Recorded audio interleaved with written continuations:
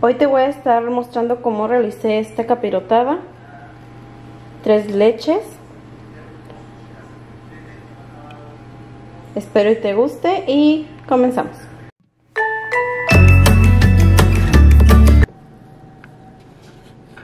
Ok, para hacer esta capirotada vamos a necesitar 7 bolillos, ya están rebanados. Yo los corté un poco anchos porque como es fresco, se recomienda que sea de un día antes para que sea un poquito duro y sea mejor trabajar con él.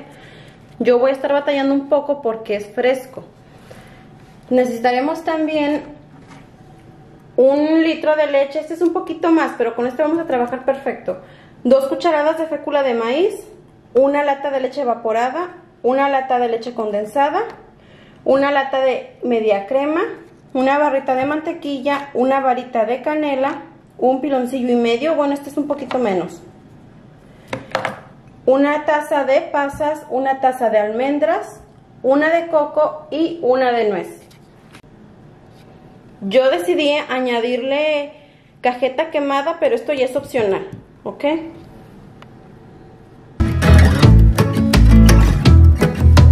Ok, espero y se observe bien la imagen. Bueno, en un comal yo... Se puede hacer en un sartén, pero yo mi comal es un poquito alto, entonces me ayuda a eso. Voy a poner un poco de mantequilla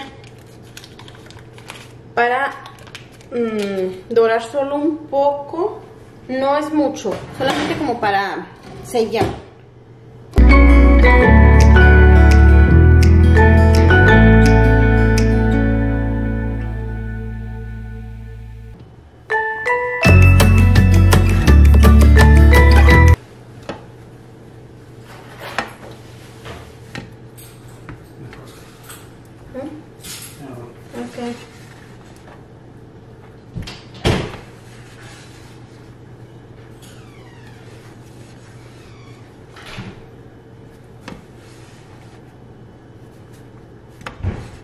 Se puede ver mi esposo que andaba ya yéndose al trabajo.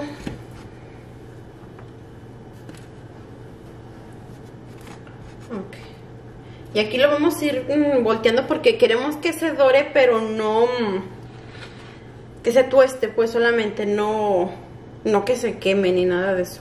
Les digo, yo mi pan es fresco, entonces sí voy a estar batallando un poquito, ¿ok? Miren, como alcanzan a ver este ya, más o menos así, y lo estoy buscando que más o menos todos queden así. Me hubiera gustado meterlos un, un ratito al, al horno para que de esa manera se, se hicieran un poquito más duros y así ya no batallábamos tanto.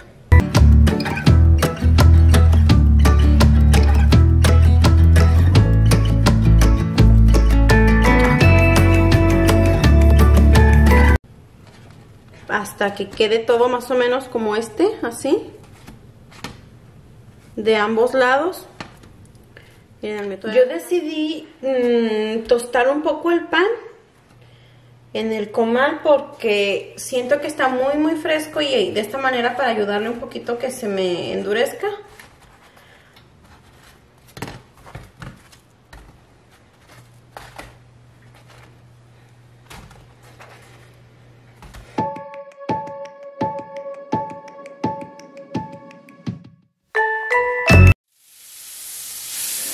Vamos a agregar un poquitito más de, mantequilla. Si se pudieron fijar, yo agregué como media barra, un poquito más. Miren, esto es lo que me quedó. De la barra de mantequilla, esto es lo que me quedó. Lo vamos a prender, pero fuego muy, muy, muy bajo. Y vamos a pasar el pan.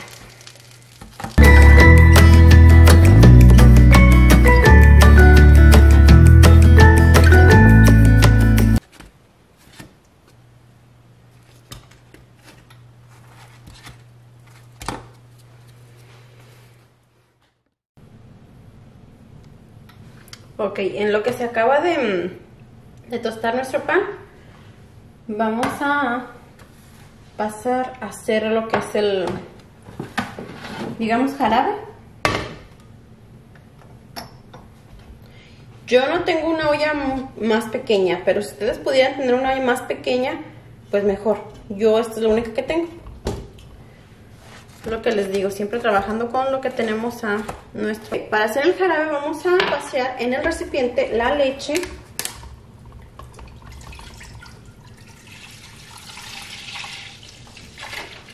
Pero vamos a dejar un poquito.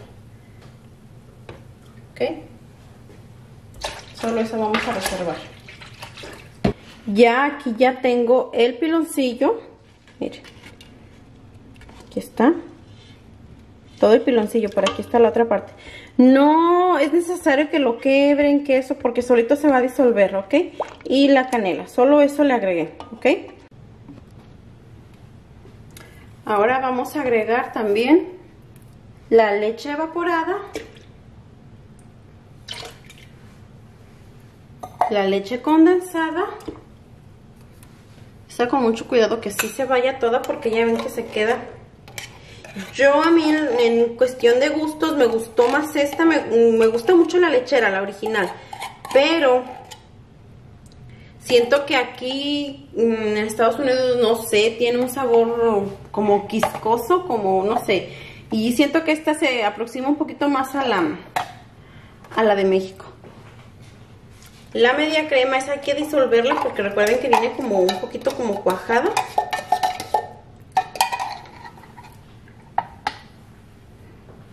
Y vamos a, a mezclar para que se incorporen bien los ingredientes.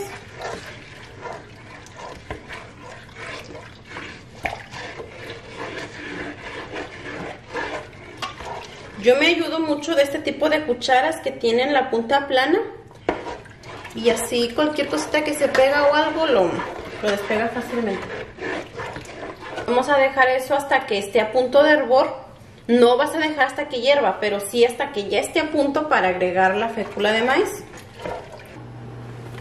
Creo que agregaremos tres cucharas de fécula de maíz en la leche que reservamos porque creo que mm, va a quedar muy aguadito después. ¿Ok? Entonces serían tres cucharas de estas. Ok, miren, yo pasé un accidente con la, con la fécula de maíz, ¿ok? Después de haber agregado la fécula de maíz a la leche, vamos a disolverla con mucho cuidado. Porque a mí ya me pasó que acabé tirando todo y un desastre, ¿ok?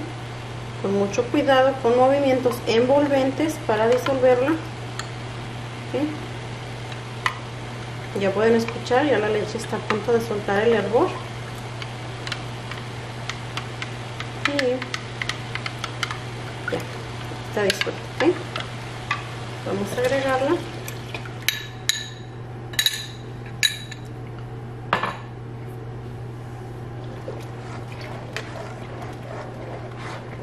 Y ahora sí no vamos a dejar de menear para que no se nos hagan grumos, ni se nos queme.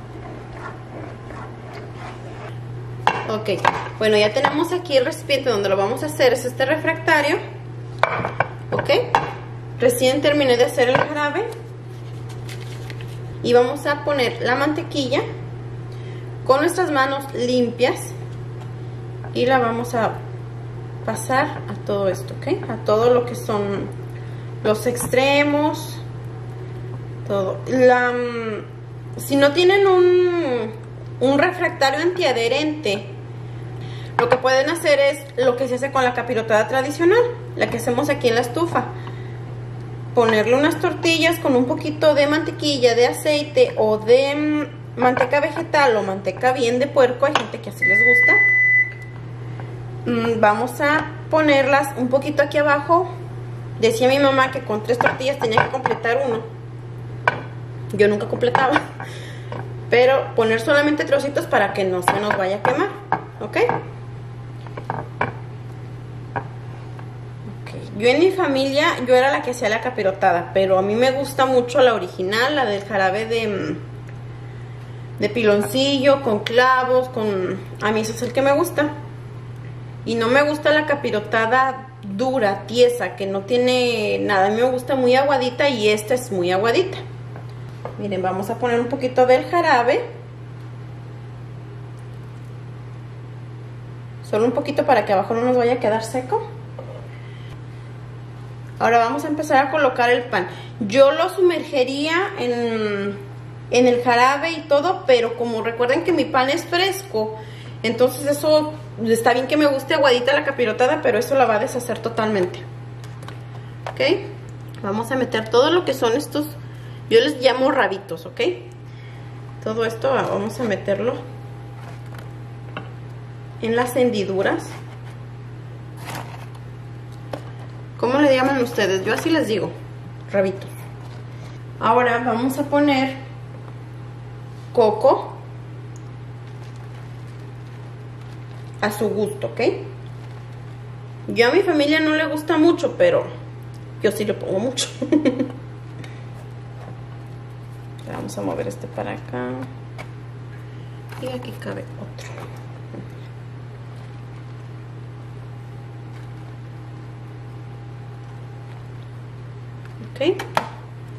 Ahora las pasas.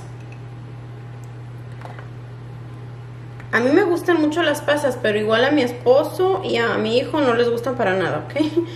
Entonces, trato de ponerle ahí sí más o menos, porque sí, sí me gustan, pero pues es incómodo cuando haces algo de comer que, que como que te le hagan gestos, ¿no?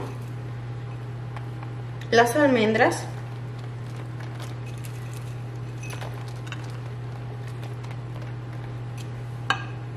Las nueces. Recuerden reservar para la siguiente capa.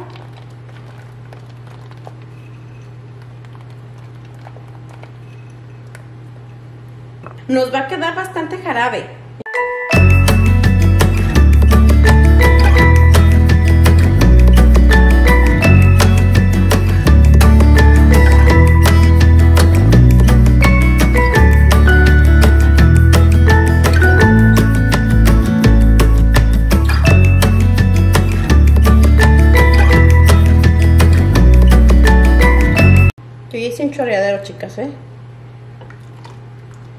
No sé si se alcance a apreciar el accidente que tuve con la con la fécula de maíz que se me regó aquí por toda la cocina, ¿ok? Bueno, ya vieron cuánto agregué del jarabe. Ahora vamos a seguir con la siguiente capa. Esta sí un poquito que se mire más bonita, más antojosa. Miren, como pueden ver, apenitas. Apenitas quedó esto. No me sobró ningún pan. Si se fijan, todo esto está salidito, pero ya cuando la, la metamos al horno y se remoje bien todo, se va a bajar. Primero ponemos el jarabe para que no nos tumbe todo, ¿ok?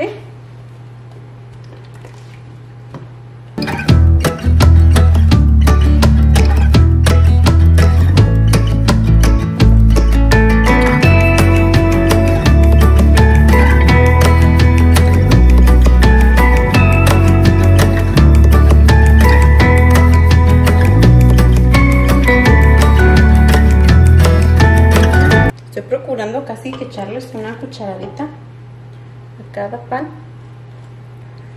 Miren, ahí se regó un poquito. Vamos a limpiarlo. Porque luego va a dar un mal olor si lo dejamos ahí cuando ya se esté cocinando en el horno. Ahora sí vamos a poner lo que nos resta del coco. Ya es muy poquito, ¿ok? Por eso lo dividí en ambas manos para, para que no me quede más en un lado o en otro. Yo tengo aquí un poco de coco pero es coco mmm, tostadito, pero este lo voy a usar para que se mire bonito. Y aparte pues no desperdiciemos nunca nada en la cocina. Ok, ahí está. Ahora vamos a poner las pasas. Huele riquísimo, riquísimo. Tan solo ya ahorita, oh my god huele bastante bien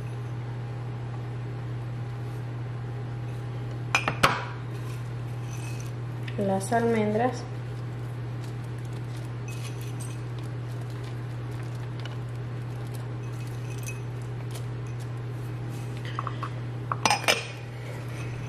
y las nueces ok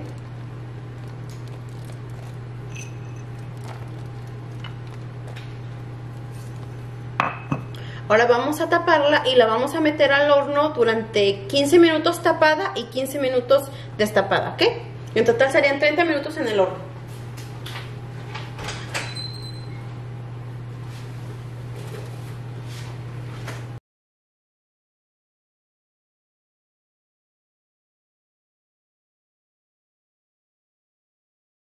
Recién voy sacando la, la capirotada. Y ahora es cuando yo ya le puse unas dos, tres cucharitas más de jarabe, ¿ok? Y aquí es la parte donde yo agrego la cajeta, ¿ok?